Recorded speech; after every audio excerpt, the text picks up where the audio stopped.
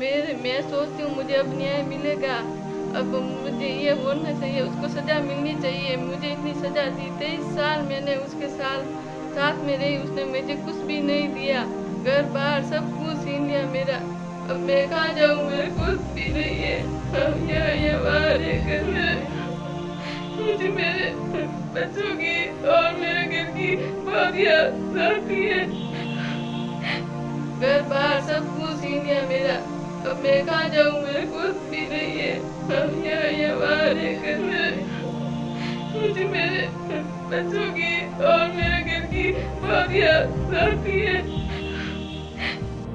तीन तलाक बोलने में महज कुछ सेकंड्स ही लगते थे, लेकिन तीन तलाक की तकलीफ़ ऐसा नासूर बन जाती थी, जिसे ज़िंदगी भर सलमा जैसी महिलाओं को भुगतने पर मजबूर होना पड़ रहा था। बाड़मेर की रहने वाली सलमा को 15 सितंबर 2018 को उसके शौहर ने फ़ोन पर तीन बार तलाक बोलकर अपनी जिम्मेदारियों से पल्ला झाड़ लिया। शादी के बाद सलमा पूरे 23 साल अपने पति के साथ रही थी। सलमा के मुताबिक उसका पति उसे मायके से पैसे लाने को मजबूर कर रहा था और जब उसने ऐसा नहीं किया तो उसे न सिर्फ़ तीन तलाक दिया गया, बल्कि उसके बच्चों को भी उससे जुदा कर दिया गया। मुझे ऐसा लग रहा है, मुझे मेरा न्याय अब मिलेगा। एक साल हुआ, मैं रो रही हूँ, मेरी ज़िंदगी तबाह हो गई।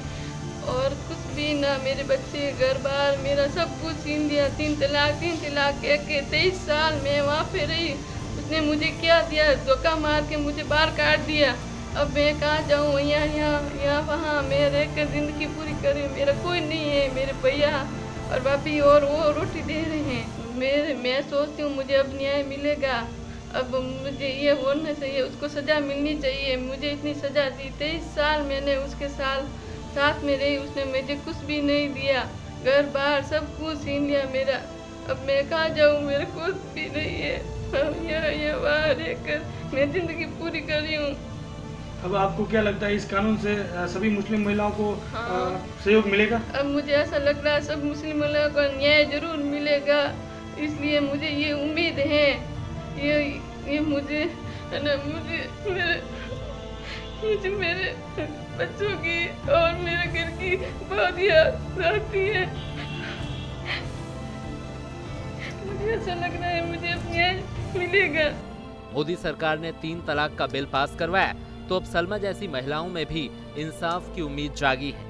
तीन तलाक बिल पास होने के बाद सलमा को भरोसा है कि अब मोदी सरकार के राज में उसे इंसाफ ज़रूर मिलेगा। राज्यसभा में आज तीन तलाक का बिल पास हो गया। बाड़मेर ज़िले की बालोतरा की सलमा इससे बेहद खुश है। उसे अब इस बात की न्याय की उम्मीद जगी है कि इस बिल के बाद उसको न्याय मिलेगा। 15 सितंबर 2018 को उसके पति ने फ़ोन पर उसको तीन बार तलाक तलाक कहकर तलाक दे दिया था। उसके बाद न्याय के लिए वो भटक रही है, लेकिन न्याय उसको नहीं मिल रहा है। अब उसे उम्मीद जगी है कि मोदी सरकार के इस बिल पास होने के बाद उसे न्याय मिलेगा। साथ ही उसका कहना है कि इस बिल के बाद मुस्लिम महिलाओं को अब ज़रूर न्याय मिलेगा। दिनेश बोरा बाड़मेर।